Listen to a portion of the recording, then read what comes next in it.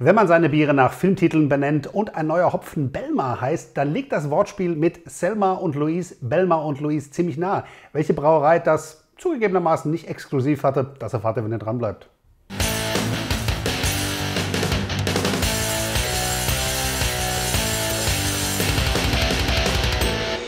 Hey, schön, dass ihr dran geblieben seid und damit herzlich willkommen zu einem neuen Video. Ich hoffe, es geht euch allen gut, ihr seid alle gesund und munter und habt Lust heute auf ein, ja, wieder mal filmisch inspiriertes Bier, zumindest dem Namen nach.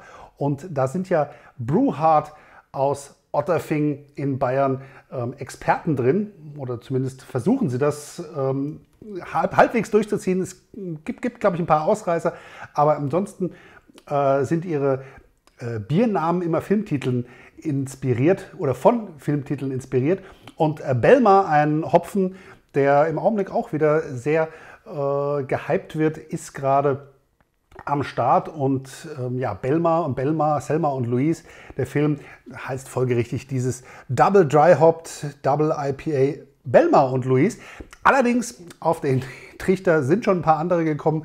Ähm, als ich das Bier gegoogelt habe, ähm, sind mir, glaube ich, drei oder vier andere Biere gleichen Namens über den Weg gelaufen, aber es liegt halt auch einfach so nah.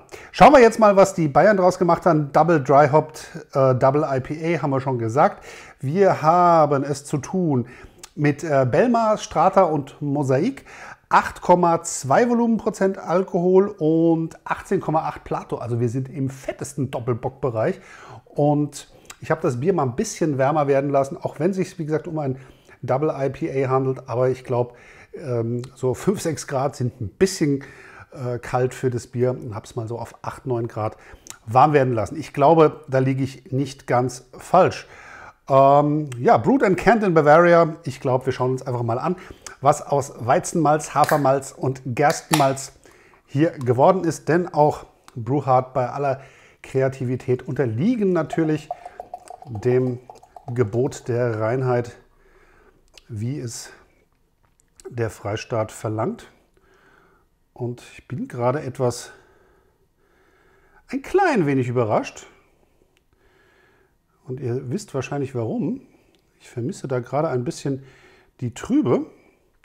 Hätte mir die zumindest jetzt erwartet, aber da kommt auch nicht mehr viel aus der Dose raus, selbst wenn ich, ja, ein bisschen.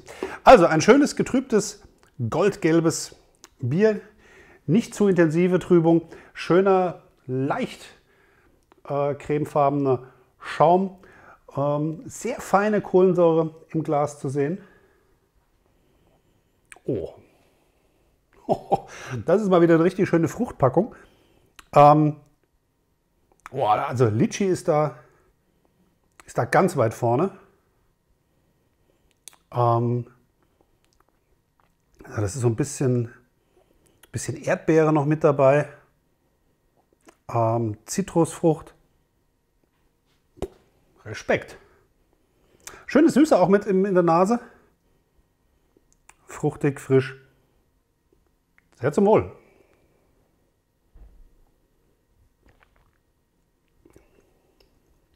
Hm.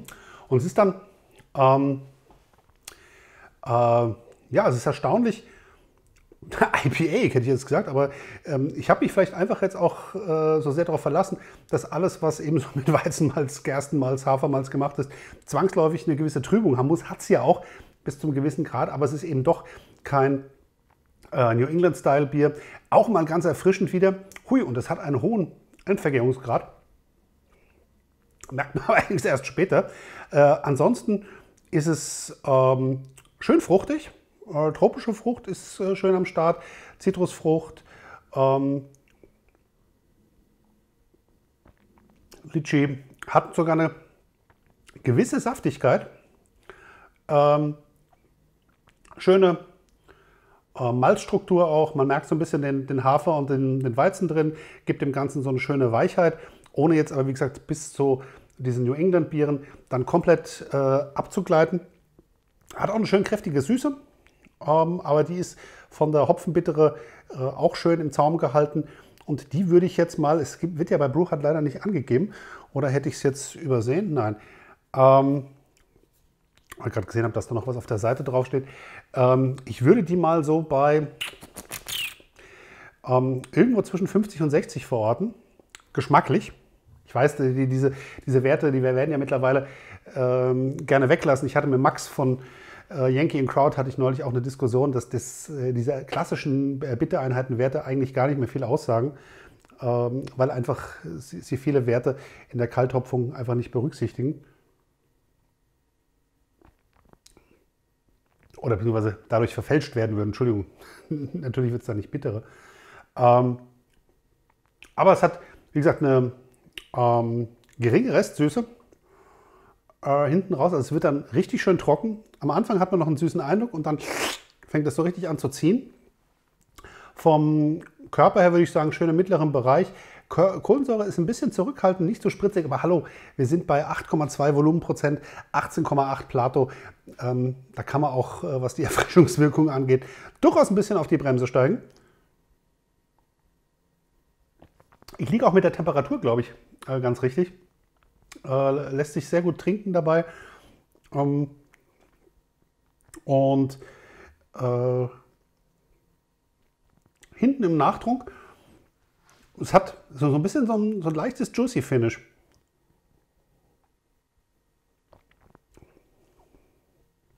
Die bittere zieht sich schön in den Nachtrunk rein.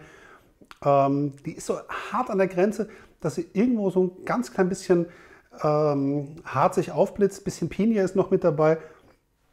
Also ist ein wirklich schönes äh, Double IPA, eher mal wieder von der klassischen Seite her. Und äh, ich glaube, da muss man auch ja, Brewhard mal wieder recht geben.